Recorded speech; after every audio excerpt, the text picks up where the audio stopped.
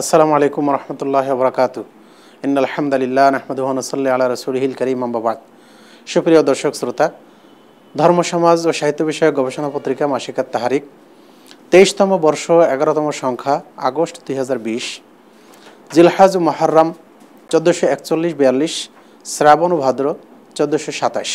বর্তমানে এই সংখ্যাটা পাঁচটি প্রবন্ধ নিবন্ধ, সম্পাদকীয় এবং অন্যান্য কলাম নিয়ে সাজানো হয়েছে। এই সংখ্যার দ্বিতীয় পৃষ্ঠায় আছে সম্পাদকীয় সম্পাদকীয়ের এবার শিরোনাম হচ্ছে বিশ্বের শাসন ব্যবস্থা ঢেলে সাজানোর তাকিদ। জাতিসংঘের মহাসচিব অ্যান্তনিও গুতেরেস এর এই আহ্বানের আলোকেই বর্তমান এই সম্পাদকীয় সাজানো হয়েছে। তৃতীয় নম্বর পৃষ্ঠায় আছে ইসালে সওয়াব, একটি তাত্ত্বিক বিশ্লেষণ। ইসালে সওয়াব হচ্ছে মৃত ব্যক্তির নিকটে সওয়াব পৌঁছানো। এর কীভাবে সওয়াব পৌঁছানো যায় সেই বিষয়টি নিয়ে এই সংখ্যায়, এই বিষয়ে এই আর্টিকেলে সাজানো হয়েছে। নয় নম্বর পৃষ্ঠায় আছে, ইসলামের দৃষ্টিতে অপচয় ও অপব্যয়। মূলত অপচয় এবং অপব্যয়ের ক্ষতিকর দিক এবং এর থেকে উত্তরণের উপায় এই আর্টিকেলে আলোচিত হয়েছে। চোদ্দ নম্বর পৃষ্ঠায় আছে, মুসলিম সমাজে মসজিদের গুরুত্ব। এই প্রবন্ধটি ইতিপূর্বে দুই কিস্তিতে ছাপানো হয়েছে। তৃতীয় এই কিস্তিতে আছে মসজিদ নির্মাণের ফজিলত এবং মসজিদের দিকে গমনের উপকারিতা। এই এই মসজিদে, এই প্রবন্ধে আপনারা বিস্তারিত কোরআন এবং হাদিসের আলোকে জানতে পারবেন।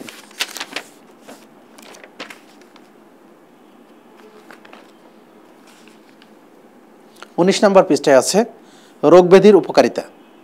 আমরা জানি রোগ শোকে মানুষের কষ্ট হয়, কিন্তু রোগেরও যে কিছু উপকারিতা আছে, আপনারা এই প্রবন্ধে কোরআন এবং সৈয়াদেশের আলোকে ইনশাল্লাহ জানতে পারবেন। ছাব্বিশ নম্বর পৃষ্ঠায় আছে আশুরায় মহরম আশুরায় মহরম আসলে আগামী তিরিশে জুল, তিরিশে জুলাই মহরমের দশ তারিখ, এই দিন আশুরা বলা হয়, এই দিনকে আশুরা বলা হয়। আশুরা মহরম আমাদের করণীয় কী? অত আশুরা মহরম আসলে কি উদ্দেশ্য? এবং তাৎপর্য কি? এই বিষয়ে এ সংখ্যায় আলোচনা হয়েছে, এই আর্টিকেল আলোচনা হয়েছে। আঠাশ পৃষ্ঠায় আছে সাময়িক প্রসঙ্গ। সাময়িক প্রসঙ্গের এবার শিরোনাম হচ্ছে, শরণার্থীরা এখন সবার মনোযোগের বাইরেই। আসলে বাংলাদেশে অবস্থা, অবস্থানরত দশ লাখের ঊর্ধ্বে শরণার্থী, আজকে তাদের অবস্থা কি সে বিষয়ে এই আর্টিকেল আলোচিত হয়েছে। তিরিশ নম্বর পৃষ্ঠায় আছে, মনীষী চরিত। এবারে মনীষী চরিত হচ্ছে শেরে পাঞ্জাব ফাতিহে কাদিয়ান মৌলানা সানাউল্লাহ অমৃতসরী এর জীবনী। এই সংখ্যায় স্থান পেয়েছে বাহাস মোনাজারায় মৌলানা সানাউল্লাহ অমৃতসরীর অবদান।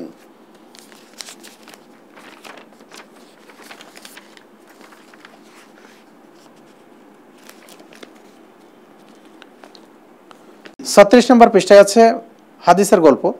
বিষয় হচ্ছে কোরআন তালাওয়াতকারীর পিতামাতার মর্যাদা। সাঁত্রিশ নম্বর পৃষ্ঠায় আছে অমরবাণী অমরবাণী আসলে বিভিন্ন গুরুত্বপূর্ণ মনীষীর উক্তি নিয়ে বাণী নিয়ে সাজানো হয়। এই সংখ্যায় অমর ইবনুল খত্তাব, আলী রাজি আল্লাহু এবং হাফেজ ইবনুল কাইম সহ বিভিন্ন মনীষীর গুরুত্বপূর্ণ উক্তি এখানে উল্লেখ করা হয়েছে। আটত্রিশ নম্বর পৃষ্ঠায় আছে চিকিৎসা জগৎ। আমরা এই মহামারীর সময় মাস্ক পরিধান করি, কিন্তু কোন কোন ক্ষেত্রে মাস্ক পরিধান করা বিপজ্জনক সেই বিষয়টি এই পৃষ্ঠায় তুলে ধরা হয়েছে। সেই সাথে রোগ প্রতিরোধ ক্ষমতা বাড়ায় পেয়ারা, যেভাবে রান্না করলে শাকসবজির পুষ্টিগুণ বজায় থাকবে উনচল্লিশ নম্বর পৃষ্ঠায় আছে ক্ষেত খামার। আসলে ক্ষেত খামারে আমরা উল্লেখ করে থাকি সমসাময়িক বিষয়, এই এই সময় কি চাষ করা যায় বা ক্ষেত খামারে কারা সফল হয়েছেন। এবারের বিষয় আছে ড্রাগন ফল চাষ পদ্ধতি এবং সাথে সাথে পুষ্টিকর ড্রাগন ফল চাষ করে সফলতার মুখ দেখেছেন লালমনিরহাটের আবু তালেব। এই দুটি বিষয় নিয়ে এবারের ক্ষেত খামার সাজানো হয়েছে। চল্লিশ নম্বর পৃষ্ঠায় আছে কবিতা। এখানে চারটি কবিতা স্থান পেয়েছে। প্রথম কবিতা হচ্ছে তাকোয়া তারপরে সংগ্রামী অবদান, আহ্বান সহি আকিদা। বিয়াল্লিশ নম্বর পৃষ্ঠা আছে সোনামণি। সোনামণিদের পাতায় আছে সাধারণ জ্ঞান, সোনামণি সংবাদ এবং কবিতা। সোনামণিদের উদ্দেশ্যে এবারের এবারের কবিতা আছে পরপারে।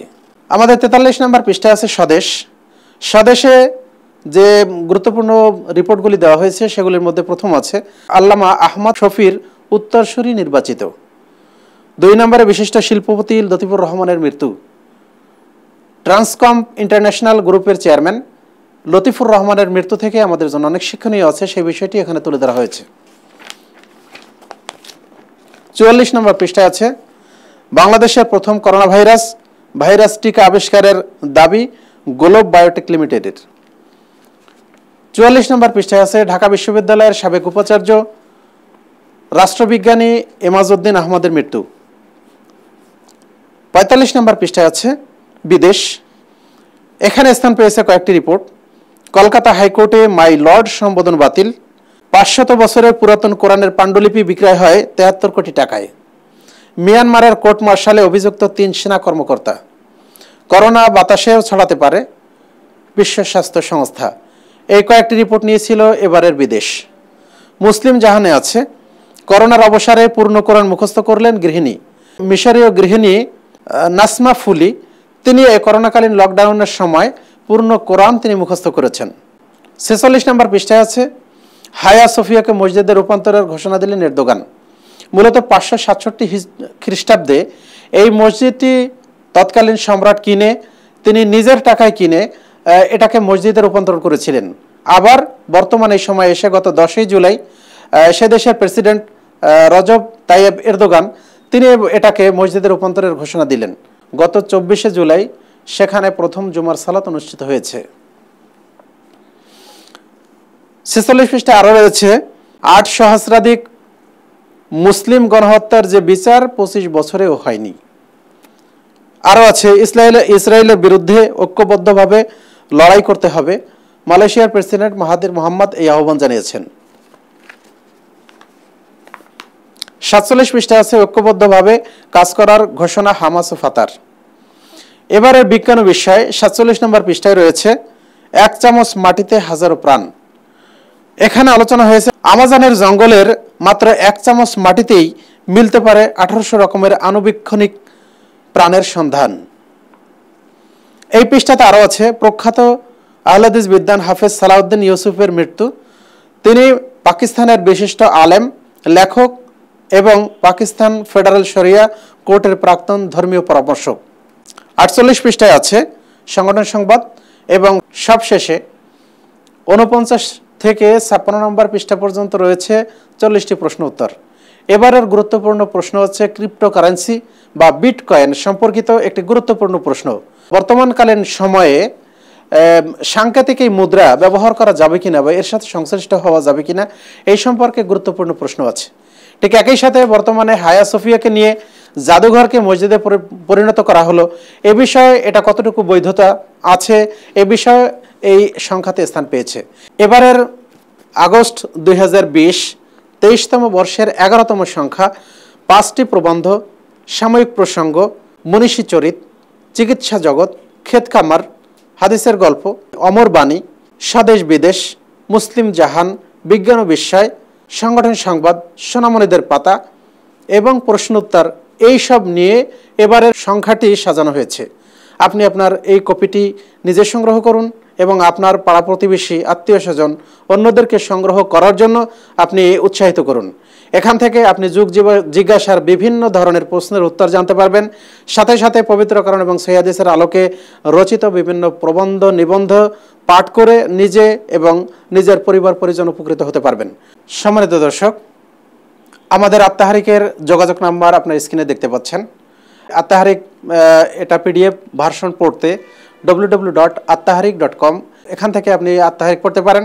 আর আমাদের ফেসবুক পেজ হচ্ছে মান্থলি আত্মাহারিক এর সাথে আমাদের স্ক্রিনে আপনি আত্মাহারিকের যোগাযোগ নাম্বার দেখতে পাচ্ছেন। আপনি সেখান থেকে আত্মাহারিক সংগ্রহ করতে পারেন। এছাড়া সারা দেশের বিভিন্ন জেলাতে, বিভিন্ন উপজেলায়, বিভিন্ন এলাকাতে আত্মাহারিকের আট শতাধিক এজেন্ট ছড়িয়ে আছে। আপনি তার কাছ থেকেও আত্মাহারিক সংগ্রহ করতে পারেন। কিংবা আপনি আমাদের অফিসের নাম্বারে যোগাযোগ করে আপনি সারা বছরের জন্য আত্মাহারিকের গ্রাহক হতে হয়ে যেতে পারেন। ঠিক একইভাবে আপনি যদি আত্মাহারিকের বর্তমান এবং পুরাতন সংখ্যা আপনি সংগ্রহ করতে চান, তাহলে আমাদের ওয়েবসাইটে আপনি আপনি খোঁজ করতে পারেন W W dot আত্মাহারিক dot com আমি আবারও বলছি W W dot আত্মাহারিক dot com এখানে আপনি বর্তমান সংখ্যা থেকে শুরু করে পুরাতন সংখ্যাগুলিও আপনি এখান থেকে পড়তে পারবেন, ডাউনলোড করতে পারবেন। সুপ্রিয় দর্শক, আপনারা জানেন যে বর্তমানে মহামারী করোনা ভাইরাস এটা কাগজের মাধ্যমে ছড়ায় না।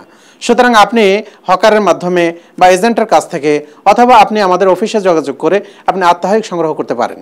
সুতরাং আপনার আত্মারিক সংগ্রহ করুন এবং নিজেরা পড়ুন, অন্যদেরকে পড়তে উৎসাহিত করুন, আপনারা নিজে নিজেরা উপকৃত হবেন এবং অন্যদেরকে উপকৃত হওয়ার জন্য আপনারা উদ্বুদ্ধ করবেন, এই আহ্বান রাখছি। সুপ্রিয় দর্শক আপনাদের সাথে আগামী সংখ্যা নিয়ে ইনশাল্লাহ আবারও দেখা হবে। সেই পর্যন্ত আল্লাহ আপনাদের সুস্থ রাখুন, আপনাদেরকে ভালো রাখুন। এই কামনা করছি, এই দোয়া করছি। আল্লাহ আমিন। আসসালামু আলাইকুম রহমতুল্লাহ বারাকাতু